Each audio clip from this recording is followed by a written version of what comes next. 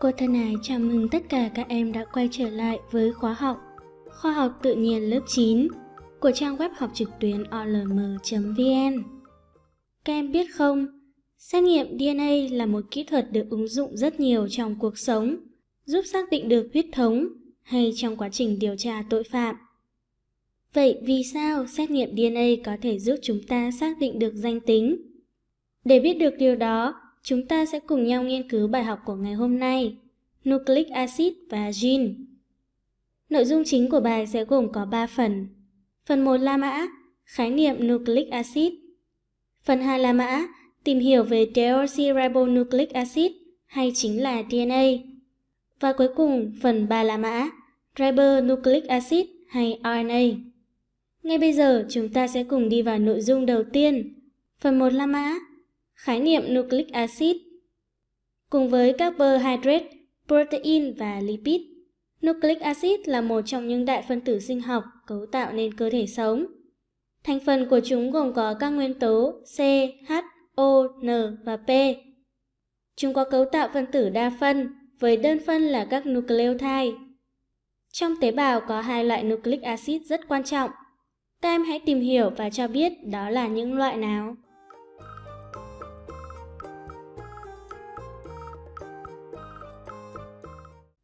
Chúc mừng các em đã có câu trả lời chính xác. Nucleic acid được tìm thấy trong hầu hết tế bào của cơ thể sinh vật và virus. Cụ thể, hai loại nucleic acid được tìm thấy chính là DNA và RNA. Chúng ta sẽ cùng nhau tìm hiểu lần lượt về hai loại này. Phần 2 là mã deoxyribonucleic acid hay DNA. Một nhỏ, cấu trúc phân tử DNA.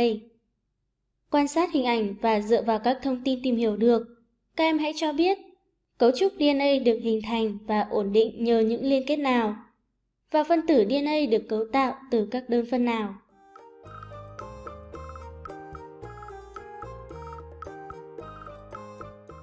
Câu trả lời của các em rất chính xác.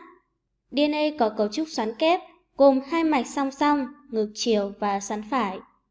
Các nucleotide trên cùng một mạch sẽ liên kết cộng hóa trị với nhau, tạo thành chuỗi polynucleotide Bốn loại đơn phân của DNA là A, T, G và C. Trên hai mạch của DNA, các nucleotide sẽ liên kết với nhau theo nguyên tắc bổ sung. Theo các em, các nucleotide này sẽ liên kết với nhau theo nguyên tắc bổ sung như thế nào?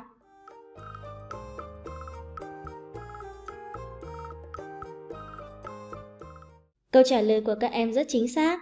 Theo nguyên tắc bổ sung, A liên kết với T bằng hai liên kết hydrogen G liên kết với C bằng 3 liên kết hydrogen và ngược lại. Bây giờ chúng ta cùng chuyển sang phần 2 nhỏ, chức năng của phân tử DNA. Theo các em, với các đặc điểm cấu trúc như trên, phân tử DNA sẽ thực hiện những chức năng gì?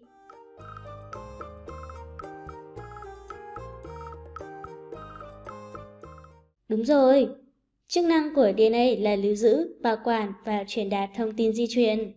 Cụ thể, Khả năng lưu giữ thông tin di truyền có được là vì các thông tin di truyền sẽ được DNA mã hóa thành số lượng, thành phần và trật tự sắp xếp của các nucleotide. Với mỗi một trình tự khác nhau, chúng ta sẽ có được một thông tin khác. Để đảm nhiệm chức năng bảo quản thông tin di truyền, cấu trúc phân tử DNA phải đảm bảo có tính ổn định cao. Đó là nhờ DNA có các liên kết giữa các nucleotide giữ cho chúng được ổn định và bền vững. Không những thế, DNA có khả năng nhân đôi trong quá trình phân bào. Nhờ đó chúng có khả năng truyền đạt thông tin di truyền từ thế hệ này sang thế hệ khác và quy định các tính trạng của sinh vật. Các thông tin di truyền quyết định tính trạng ở sinh vật được gọi là gene. Chúng ta sẽ tìm hiểu về khái niệm này qua phần 3, khái niệm gene. Theo các em, gene được hiểu là gì?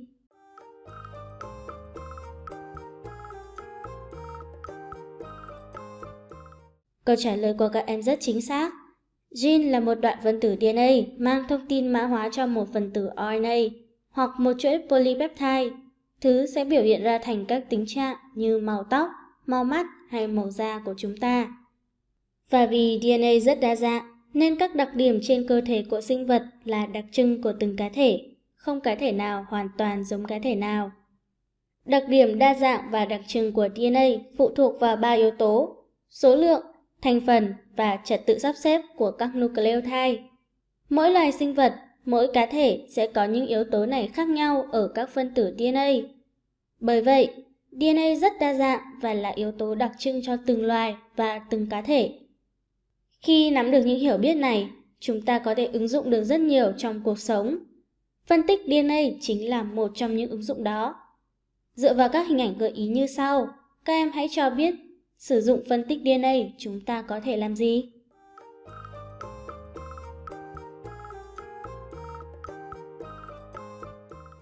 Câu trả lời của các em rất chính xác. Phân tích DNA nhằm mục đích tìm ra điểm khác biệt giữa các phân tử DNA của các đối tượng khác nhau. Từ đó giúp chúng ta xác định được huyết thống, truy tìm tội phạm hoặc chẩn đoán các bệnh do các loài sinh vật như vi khuẩn hay virus. Như vậy, có thể thấy phân tích DNA được ứng dụng trong rất nhiều lĩnh vực như nghiên cứu khoa học, pháp y và đời sống. Vậy là chúng ta đã nắm được các đặc điểm cấu trúc và chức năng của phân tử DNA. Vậy còn RNA thì sao nhỉ? Hãy cùng tìm hiểu về phân tử này qua phần ba la mã, ribonucleic acid hay RNA. Một nhỏ, cấu trúc phân tử RNA.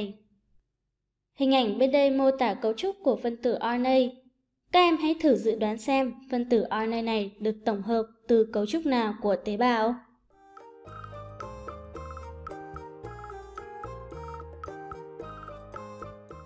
Đúng rồi, RNA là phân tử được tổng hợp từ DNA, bởi vậy nên giữa chúng có một số điểm giống nhau. RNA cũng có cấu tạo đa phân với đơn phân là các ribonucleotide, gồm 4 loại là A, U, G và C. Các đơn phân này cũng liên kết cộng hòa trị với nhau để tạo thành mạch RNA.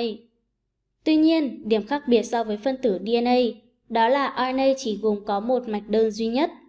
Chúng được tổng hợp ở trong nhân của tế bào sinh vật nhân thực hoặc vùng nhân của tế bào sinh vật nhân sơ và thực hiện chức năng ở tế bào chất.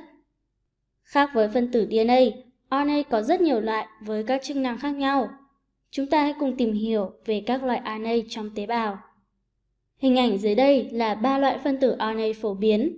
Các em hãy tìm hiểu và cho biết đây là loại RNA nào và chúng có chức năng gì.